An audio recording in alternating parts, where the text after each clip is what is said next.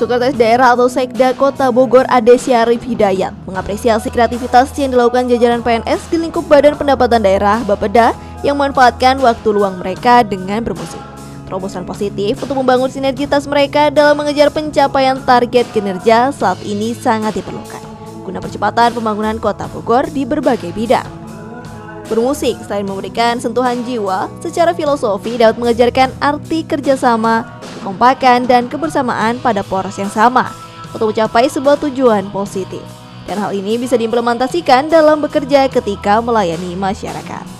Kondisi-kondisi kepenatan seperti itu, saya memberi kesempatan kepada mereka untuk berkarya uh, sambil uh, bermusik karena saya meyakini bahwa merasakan musik ini mampu memberikan sebuah apa ya sentuhan. Uh, nuansa sentuhan kepada kita ini untuk lebih nyaman gitu kan.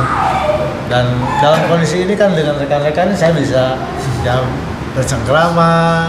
Mungkin kalau di ruangan di dinas tidak juga saya bisa seperti ini. Tak saja pada persoalan musik Sekda yang merupakan pemangku kebijakan tertinggi di jajaran pegawai negeri sipil pada prinsipnya merespon baik berbagai kreativitas apa pun jajarannya untuk melakukan berbagai perubahan positif dalam membangun kota Bogor sejauh tidak menyimpang dari koridor hukum dan aturan yang berlaku, terutama dalam hal memberikan pelayanan bagi masyarakat.